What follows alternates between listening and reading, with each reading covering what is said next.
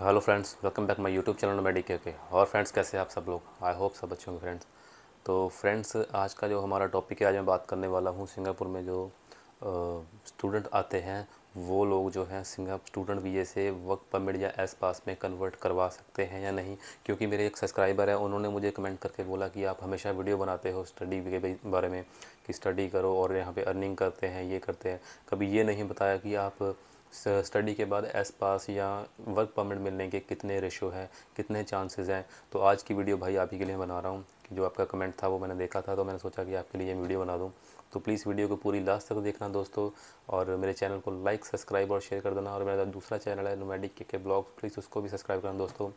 तो चलिए दोस्तों शुरू करते हैं ये वीडियो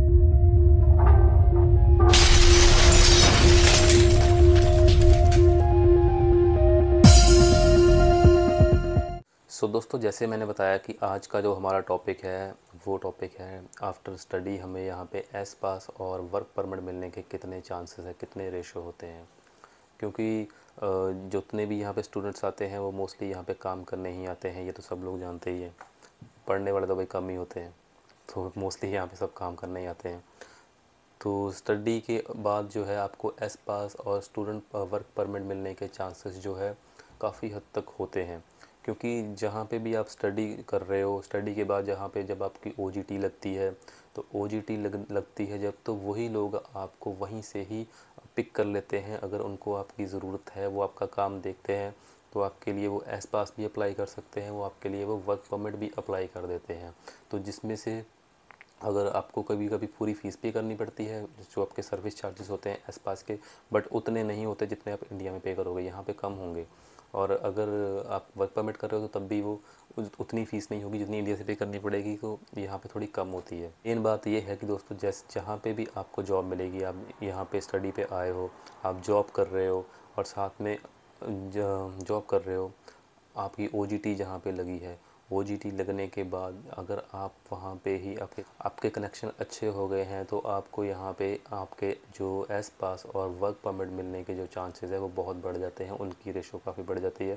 क्योंकि बहुत सारे स्टूडेंट्स ऐसे हैं जिनको ये हुआ, जिनको ये मिला है एस पास और वर्क वीज़ा दो एग्ज़ाम्पल तो मेरे पास मैंने खुद देखी हैं। एक इंडिया से ही है वो लड़का। उसने यहाँ पे स्टडी पे आया था। और उसने जहाँ पे वो जॉब कर रहा था, वहीं पे ही उसको उन्होंने वर्क परमिट इशू कर दिया। तो आज वो अंडर वर्क परमिट काम कर रहा है, यहाँ पे उसको तीन साल हो चुके हैं भाई। और एक और लड़की है, वो इंडिया से आई थी, उसके पास स्टडी बेस पे आई थी, वो हरियाणा से है वो लड़की। और आज वो लड़की दो साल से एस पास पे काम कर रही है।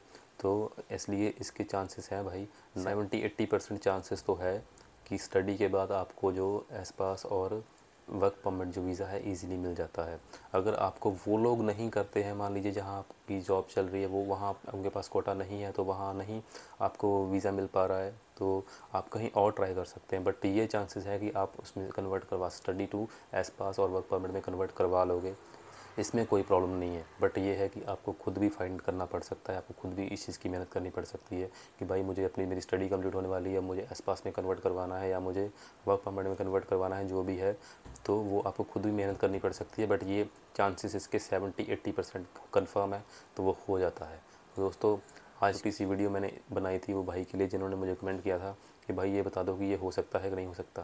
तो आई होप वो भाई को ये वीडियो पसंद आई होगी। तो दोस्तों, इसी के साथ ये वीडियो ख़त्म करता है। Okay friends bye bye